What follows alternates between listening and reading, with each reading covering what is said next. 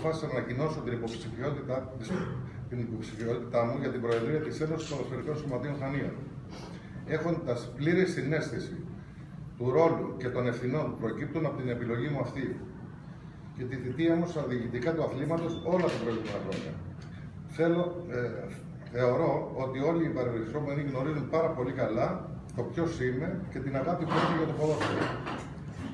Αποφάσισα μετά από πολλή σκέψη να είμαι επικεφαλής μιας νέας ομάδας ανθρώπων που έχουν όνειρα, φρέσκες ιδέες για το μέλλον του του ποδοσφαίρου.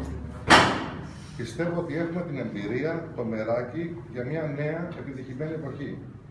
Μια πολύ δυνατή ομάδα ανθρώπων που έχει γνώσεις από το τι εστί ποδόσφαιρο, που επιζητά μια νέα αρχή με ισονομία, αξιοκρατία, που θα αλλάξει τα στεγανά στον αθλητισμό του τόπου μας. Θέλουμε να συνεργαστούμε με όλες τις ομάδες του νόμου μας, από γωνιά σε γωνιά των Χανίων, να προβούμε σε τομές που θα τους βοηθήσει να αποδώσουν, θα τους βοηθήσει να αποδώσουν και να τους δίνει τη δυνατότητα να ανταπεξέλθουν στις υποχρεώσεις τους. Μέσα από τη συλλογικότητα και την πολλή δουλειά θέλουμε να αναβαθμίσουμε το ποδόσφαιρό μας, αλλά και να στηρίξουμε το χανιώτη ποδοσφαιριστή και παράγοντα. Την επόμενη μέρα των εκλογών τους θέλουμε όλους δίπλα μας. Θέλουμε να αισθάνονται την έψη Χανίων σπίτι τους. Και θα είμαστε εκεί για ό,τι χρειαστούν.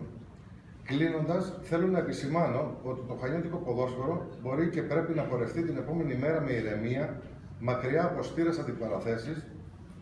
Εξάλλου, ο εχθρός του καλού είναι το καλύτερο.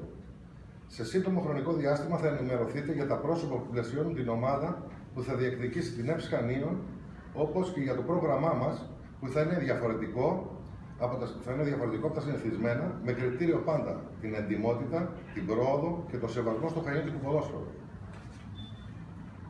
Το ποδόσφαιρο δεν είναι μόνο μπάλα. Είναι πολιτισμός, αλλά και ηθικές αξίες. Αυτές τις βάσεις θέλουμε να δώσουμε και με αυτές θα πορευτούμε. Σας ευχαριστώ πάρα πολύ και είμαι στη διάθεσή σας για ερωτήσεις.